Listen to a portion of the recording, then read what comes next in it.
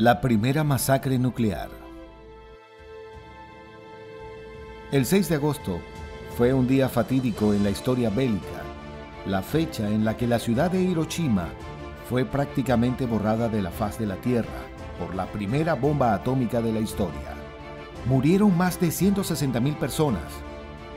Aunque no fue el ataque más devastador de la guerra en territorio japonés, sí causó una gran conmoción en la opinión pública por la brutalidad e inmediatez de la destrucción.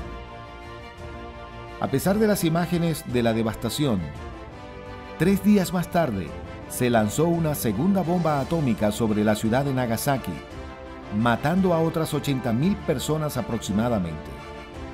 En su momento, el presidente estadounidense Harry Truman justificó esta decisión por el deseo de obtener una rendición inmediata y así evitar una invasión de Japón que habría podido costar muchas más vidas.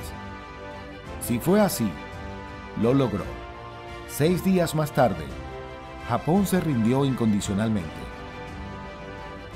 Pero ya en aquel momento, se cuestionó la necesidad y sobre todo la moralidad de utilizar armas tan devastadoras contra ciudades enteras, ya que causaron la muerte indiscriminada de decenas de miles de personas que nada tenían que ver con la guerra y dejaron secuelas a largo plazo en los supervivientes. Esa decisión pesa aún sobre el recuerdo de Truman como responsable directo de haber ordenado los bombardeos, especialmente el segundo, cuando las consecuencias ya se habían visto directamente. A raíz de los bombardeos de Hiroshima y Nagasaki, se intensificaron los llamamientos a nivel internacional para controlar y resguardar el uso de armas nucleares, lo que llevó a la creación de organizaciones y tratados internacionales para evitar la proliferación de este tipo de armas. Esto no impidió que se siguieran realizando pruebas nucleares durante la Guerra Fría, pero nunca más se volvió a lanzar una bomba nuclear contra un lugar poblado.